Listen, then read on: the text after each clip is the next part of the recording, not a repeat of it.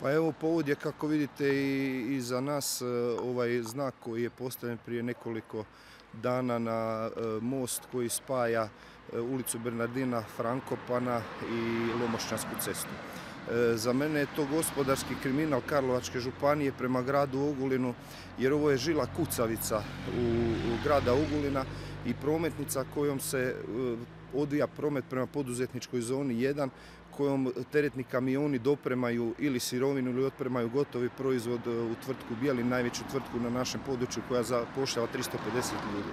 Evo došli smo do situacije da se tim vozilima zabranio promet ovim ograničenjima i jednostavno e, nije dostavljen niti alternativni pravac, ali niti je grad obavješten o tom postupku jer e, e, e, sad može doći do situacije da kamion sa trupcima dođe tu i nema jednostavno nema alternativnog pravca.